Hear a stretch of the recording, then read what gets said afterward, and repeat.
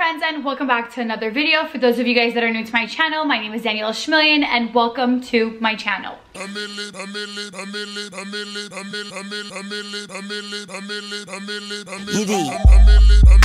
For this video, I will be discussing one of my favorite meals. They are the Gucci Black Princetown mules. They are so comfortable and I'll get into the details as to why I like them. But just to start off, I will also be including an on-feet look in this video, so stay tuned for that if you guys if you guys wanted to see how I will be styling these shoes. Also, to get into the details of our classic Gucci box, it is black and white, and it says the Gucci logo straight in the middle of the shoe. As far as the description, this shoe is a 38 and a half. I will be discussing the sizing because it is a little complicated, but it gives you the picture of the shoe, the size, the barcode, the serial number of the shoe, it also gives you the price. I did buy this shoe quite a few years ago when they were $680, but unfortunately because Gucci increases their price yearly, they have increased to $695. Let's get into the details of what the shoe looks like. This is what the shoe looks like. This is our Gucci Princetown Mule. It is completely black leather all around the shoe. Ooh. And it has our gold tone hardware of the horse bit, which is one of Gucci's iconic styles that you see on literally all of their shoes. They have this in some way, shape, or form. It might not exactly look like this, but it has had different um, looks to it as the years have progressed. This is what it looks like now. I will also uh, make a video of a shoe that's kind of older. It's a heel that I have that the horse bit looks a little bit different. But right now, this is what Gucci has come out with the style of the horse bit. Again, it is gold tone.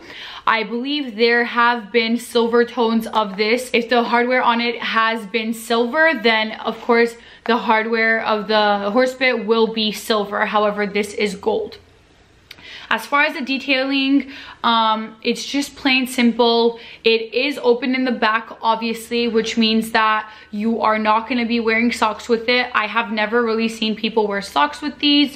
Um, I think they would be a little weird and it probably would be a little bit more snug because sizing on this is a little weird.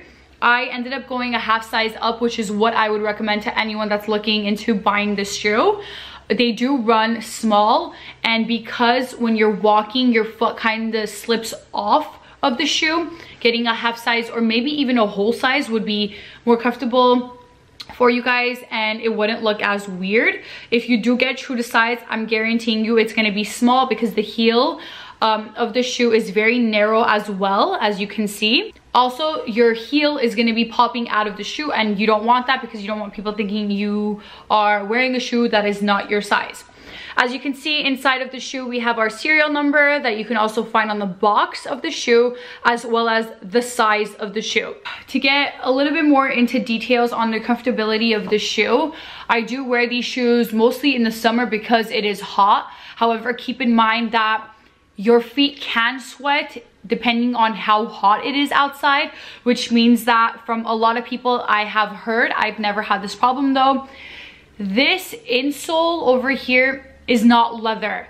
It is more of like a, not a sticker material I would say, but it's glued on, which means that if you have feet that are sweaty usually, they will kind of slip off and go onto the leather portion of the shoe and you don't really want that. So I would say that if you are someone that can't necessarily wear shoes uh, in the summer that are like this and open in the back because um, you, your feet sweat, I wouldn't necessarily recommend this shoe because it can damage the insole of the shoe, which I have heard about. Again, this has never happened to me, but just something for you guys to think about and necessarily try to figure out if it's right for you or not. As far as the price of the shoe, of it being $695, if you are gonna get them, I suggest you get them right now because every single year Gucci does increase their prices depending on what the item is that you are trying to purchase. I have seen it. So so I would say with all these designers, if you see something,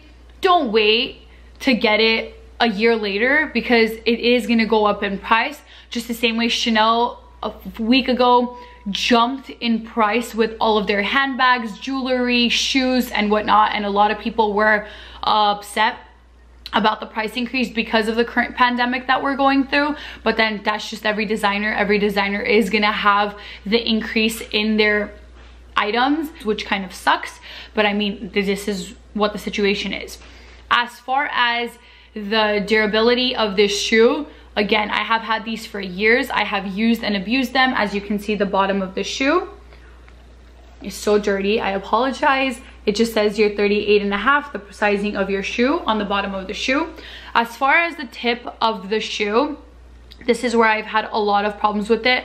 As you can see, it has worn out a lot. This is also due to the fact that I have hit my shoe numerous times onto curbs.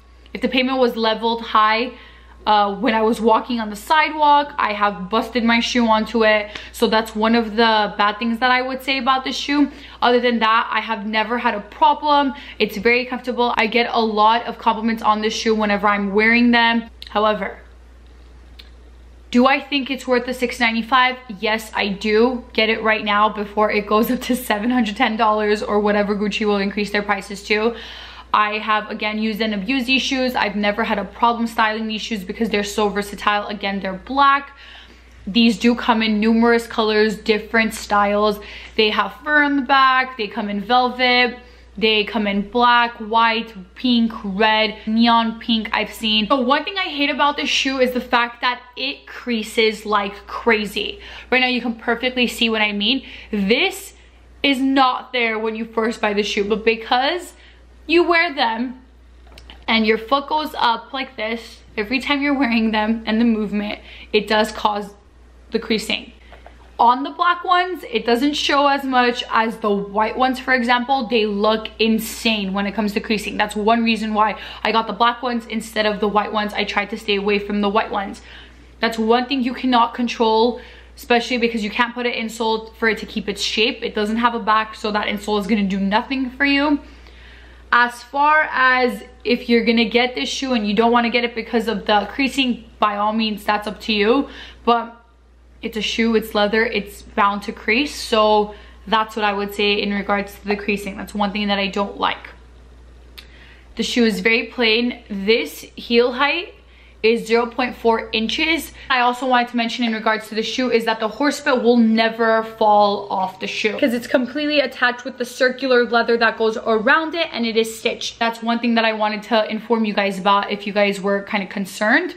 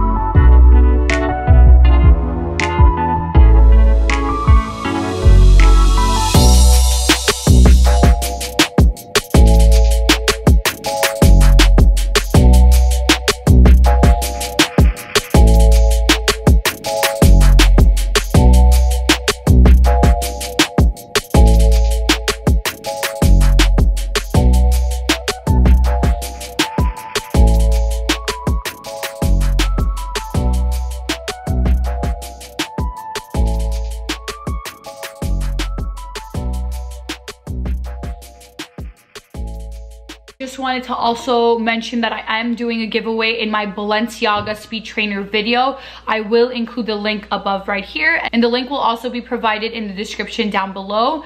Keep in mind that I am most probably going to be extending the giveaway. I had said that I have to reach a thousand subscribers by July 1st, but I decided because of the current situation that we're going through, I do want to give back to you guys and give Apple AirPods to one lucky subscriber that I will be doing through a random name generator. So stay tuned for that. All you have to do is follow the rules and they will all be included in the description below. So stay tuned for that. With that being said, I hope you guys enjoyed this video. If you guys have any questions, please don't forget to comment down below, like this video, and most importantly, don't forget to subscribe to my channel to see more content. My name is Daniela Shamilian and Shamili out.